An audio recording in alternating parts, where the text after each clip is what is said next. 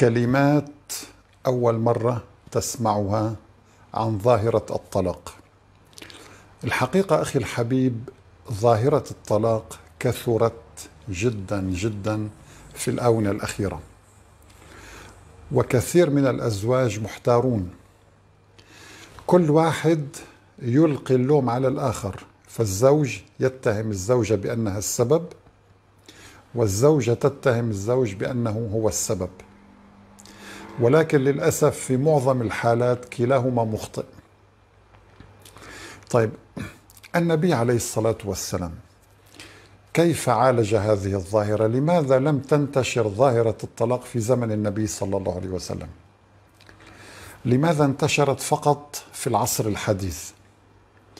ما هي التعليمات التي جاء بها هذا النبي الكريم وأثرت على الناس؟ يعني اليوم المحاكم تمتلئ بالمشاكل الزوجية والأسرية. وكل القوانين التي وضعها البشر لم تعالج هذه المشكلة بل فاقمت المشكلة. طب هل هناك قوانين وضعها القرآن وكذلك أنبأ عنها النبي عليه الصلاة والسلام؟ مهمة هذه القوانين أن تحافظ على الأسرة. هذا هو أخي الحبيب ما أردت أن أقوله لك اليوم. سواء كنت متزوجا وكنت سعيدا في زواجك أو كان لديك مشاكل في هذا الزواج أو كنت غير متزوج النصائح هذه يجب على كل واحد منا أن يعلمها لأنها اولا عبادة لله. نحن عندما نستمع لآية قرآنية أو حديث نبوي هذا عبادة لله سبحانه وتعالى.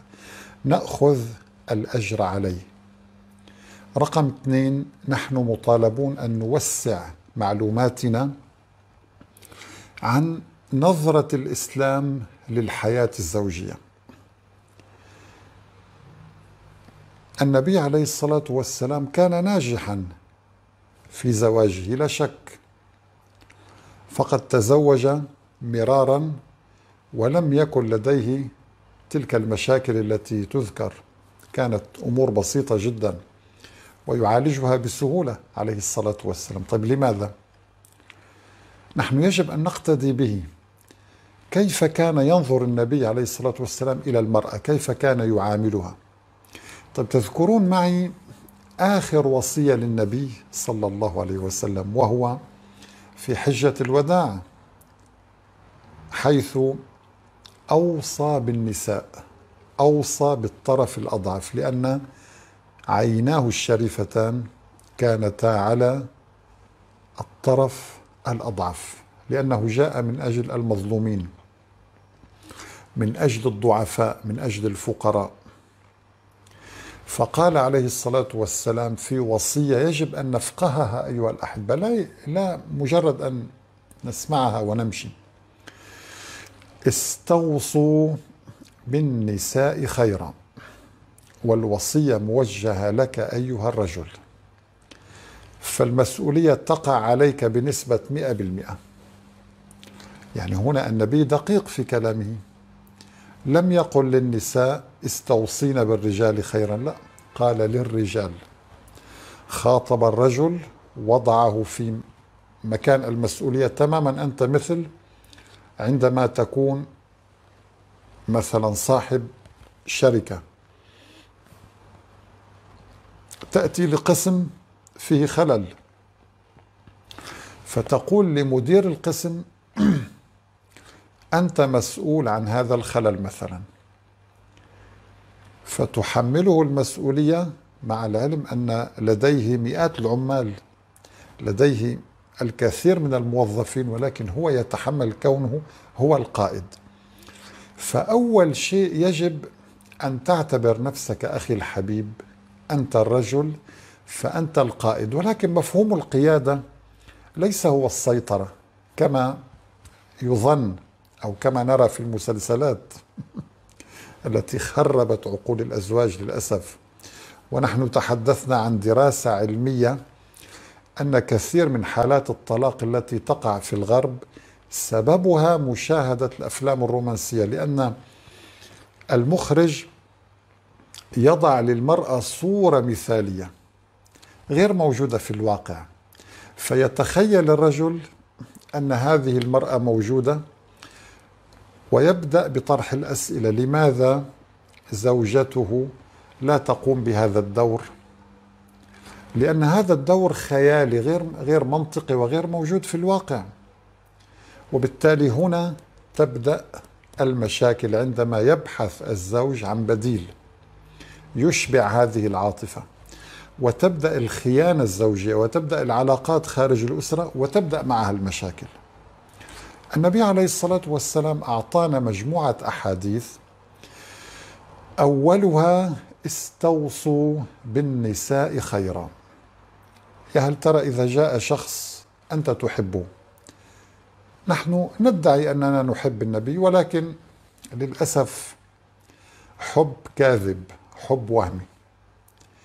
صدقني أيها الزوج أنت عندما تؤذي زوجتك أنت تكذب على النبي أنك تحبه لأن هذا النبي هو أنت تدعي أنك تحب النبي. وهو يقول استوصي بزوجتك خيرا. طيب وأنت لم تطبق هذه الوصية.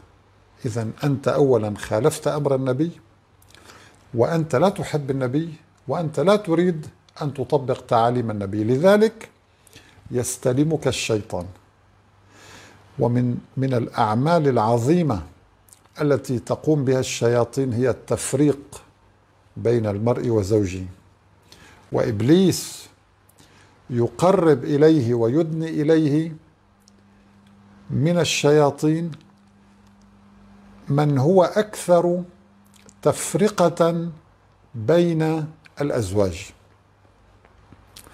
لذلك أول حديث يجب أن تضعه في رأسك استوصوا بالنساء خيرا.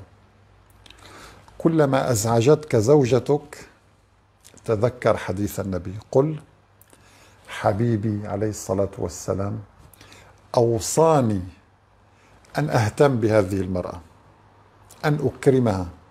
استوصوا بالنساء خيرا. مفهوم عميق جدا.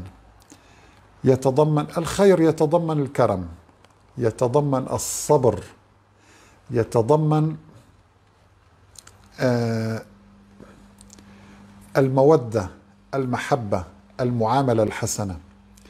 الخير يتضمن أن تعفو عنها. الخير يتضمن أن تحب لها الخير. وإلا ما ماذا يعني استوصوا بالنساء خيرا؟ هذه النظرة أخي الحبيب يجب أن تغرسها في دماغك. بالمقابل أنا لدي آية قرآنية يجب أن أقرأها لأنها تتوافق وتنسجم وتتناغم مع هذا الحديث. الله عز وجل أيضا وضعك أيها الزوج موضع المسؤولية. وأنا طبعا بعد هذه الآية سأقول لماذا؟ اختار الله الزوج وليس الزوجة. لماذا الخطاب للزوج وليس للزوجة؟ لأن تركيب دماغ الزوج والخصائص التي يتمتع بها الرجل تختلف عن الخصائص والتركيب الدماغي للمرأة وتركيب القلب والعواطف والمشاعر وغير ذلك. وبالتالي الرجل هو الذي ينبغي عليه أن يأخذ المبادرة ينبغي عليه أن يأخذ دور القائد بالحب وليس بالضرب والشتم والسيطرة. القيادة أخي الحبيب أن تقود قلب زوجتك. لا أن تجبرها على فعل شيء هي تكرهه. أي رجل يستطيع أن يفتري على امرأته ويجبرها على فعل أي شيء. ولكن أنت لم تحقق القيادة والقوامة التي أرادها النبي عليه الصلاة والسلام. الآية الكريمة ماذا تقول؟ لكل زوج تقول وعاشروهن بالمعروف. سبحان الله هنا الخطاب للزوج. يعني القرآن لا يوجد فيه خطاب للمرأة. مثلا أيتها النساء عاشرن أزواجكن بالمعروف. هذا غير موجود في القرآن. الخطاب دائما للرجل لأنه هو الذي يجب أن يبادر هو الذي يجب أن ينظم هو الذي يجب أن يعفو ويتسامح لأن الله خلقه قادر على ذلك. المرأة خلقت وجبلت من العاطفة والعاطفة سريعة التقلب وسريعة التغير وسريعة الغضب. إذا أنت أيها الرجل ينبغي أن تطبق هذه الآية. ما هي الآية؟ وعاشروهن بالمعروف. طيب أنا كلما انزعجت من زوجتي أو حدث موقف يدعوني للغضب أتذكر هذه الآية؟ فأقول وعاشروهن بالمعروف. طيب من الذي يقول لي هذا فعل أمر؟ عاشروهن فعل أمر. من الذي يأمرني؟ الله. الذي خلقني ورزقني ومصيري بيده ومرجعي إليه وبيده أن يعذبني أو ينعمني بيده أن يرزقني أو أن يبتليني بيده أن يكشف عني الضر أو يصيبني بضر. كل شيء بيد هذا الإله العظيم هو الذي يقول لي وعاشروهن بالمعروف فإن كرهتموهن فعسى أن تكرهوا شيئا ويجعل الله فيه خيرا كثيرا. لاحظ معي هذا هذا التركيب العجيب أخي الحبيب. خيرا كثيرا. هذه العبارة خيرا كثيرا لو بحثنا عنها في القرآن كله نجدها مرتين فقط. وهذا له حكمة. مره مع النساء. يعني كأن الله يريد أن يقول لك إياك أن تزعج هذه الزوجة أو تقسو عليها. مهما شاهدت منها ما تكره. مهما صدر باستثناء الفاحشة طبعا. هذا موضوع آخر. نحن نتحدث ضمن العلاقات الزوجية وما يصدر من أخطاء. مهما صدر منها من خطأ فعليك فعل أمر وعاشروهن. ليس باختيارك أنت مأمور. بالمعروف فإن كرهتموهن فعسى أن تكرهوا شيئا ويجعل الله فيه خيرا كثيرا. الخير الكثير ورد مرتين. مرة هنا مع النساء فيهن خير كثير. يعني الله يقول لك هذه الزوجة التي أنت الآن تكره منها هذا السلوك أو هذا التصرف فيها خير كثير. أنت لا تراه ولكن الله يعلمه.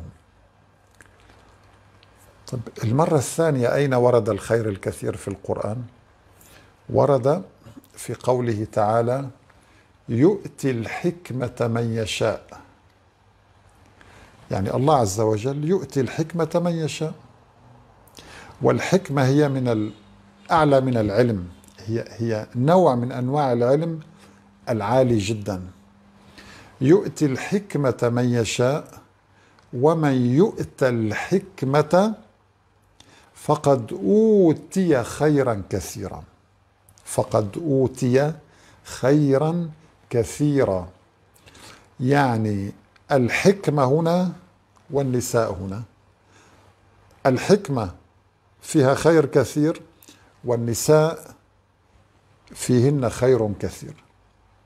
بالله عليكم أنا هنا قبل أن أتابع فقط كلمة لابد أن أوجهها للعلمانيين والملحدين والذين ينتقدون القرآن ويقولون إن القرآن أهان المرأة.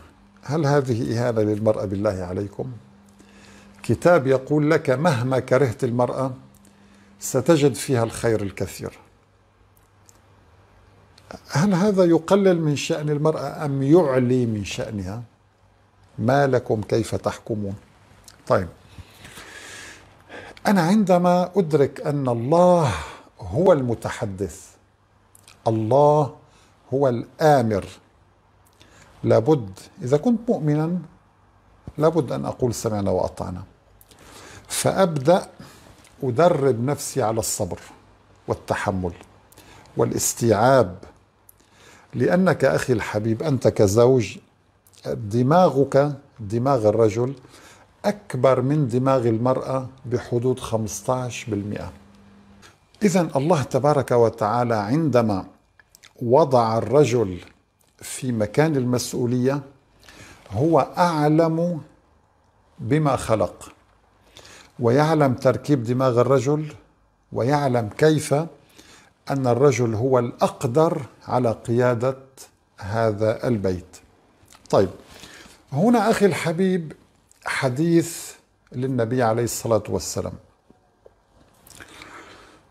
يقول فيه إن النساء يكثرن اللعن ويكفرن العشير والحديث هذا تم انتقاده من قبل المشككين والملحدين كثيرا. يعني واعتبروه إهانة للمرأة. مع العلم أننا لو فهمنا الحديث نجد أن فيه إكراما للمرأة. كيف؟ أنت عندما يأتي آه، شخص انفعالي انفعالي سريع الغضب ويلقي إليك بكلمة أكيد لن تعامله أو لن يكون رد فعلك مثل رد فعلك تجاه رجل هادئ ومتزن. صحيح؟ اذا هذا الحديث أراد النبي عليه الصلاة والسلام أن يقول لك إن المرأة عاطفية تكثر اللعن سريعة الغضب. تنفعل بسهولة. يكفرن العشير تنسى أحيانا. فيجب أن تهدأ وتعاملها برفق. يعني لا تعاملها وكأنها مخلوق مثالي لا. يجب أن تتحمل وتصبر لكي تستمر الحياة. وصدقني أخي الحبيب أن تتحمل أذى الزوجة وتتحمل الانفعالات وتتحمل الكثير من المشاكل وتصبر وتعفو وتكرم أفضل بمليون مرة من أن تقطع هذه العلاقة وتدمر هذه العلاقة بالطلاق وتشريد للعائلة تشريد للأطفال. ما يترتب على ذلك من آثار أكبر بكثير مما ستتحمله طبعا هذا الكلام ينطبق على المرأة أيضا لأن هناك بعض الرجال سيء الخلق سريع الغضب سريع الانفعال. المرأة ينبغي عليها أن تصبر وتتحمل وتدرك أن الموت قريب. فإذا تعامل الطرفان بهذا الأسلوب ستجد أن الحياة جميلة ومستقرة وتستمر وهذه المشاكل تعمل مثل طاقة محركة للحياة لأن الحياة من دون مشاكل كئيبة مظلمة خامدة. المشاكل تعطي حيوية ومعنى للحياة. لذلك أنت عندما تستوصي بهذه المرأة خيرا تتحمل بعض الأخلاق التي أنت تكرهها وتتذكر قول النبي عليه الصلاة والسلام لابد اولا ستأخذ ثواب هذا الصبر. أنا الآن أخي الحبيب سأوجه الكلام للزوج والزوجة معا. كلما صبر أحدهما على الآخر رفع الله درجاته عنده إلى أعلى درجة. نتيجة الصبر هو الجنة. إنما يوفى الصابرون أجرهم بغير حساب. يجب أن تضع هذه الآية في ذهنك. لماذا نبينا عليه الصلاة والسلام نجح في حياته الزوجية؟ لأن هذه الآيات كانت كانت في في فكره وكانت في قلبه وكانت في ذاكرته. فأي موقف يتعرض له كان يتذكر هذه الآيات يتذكر قيمة الصبر يتذكر كم ثواب الصابر عظيم جدا عند الله. أن تدخل الجنة بغير حساب فإذا تذكرت الزوجة هذه القاعدة صدقوني ستصبر مئة ضعف ما تصبره الآن. فقط أن تتذكر الموت وتتذكر لقاء الله. الفائدة الثانية أخي الحبيب العفو. من أسماء الله العفو. ونحن أمرنا أن نقول في ليلة القدر ندعو ونقول اللهم إنك عفو تحب العفو فاعف عنا. فالله يحب العفو. فأنا عندما أعفو عن زوجتي وزوجتي تعفو عني الله يحب هذا السلوك. نحن دخلنا في محبة الله. لاحظت أخي الحبيب؟ آه الفائدة الثالثة. مجرد أنك تطبق تعاليم النبي عليه الصلاة والسلام هذا فيه ثواب وأجر وهو طاعة للنبي. الله سبحانه وتعالى يقول وأطيعوا الله وأطيعوا الرسول. وأطيعوا الله وأطيعوا الرسول فهذا أمر من الله أن نطيع الرسول. فالرسول قال لنا استوصوا بالنساء خيرا يجب أن نستوصي وكأنها أمانة.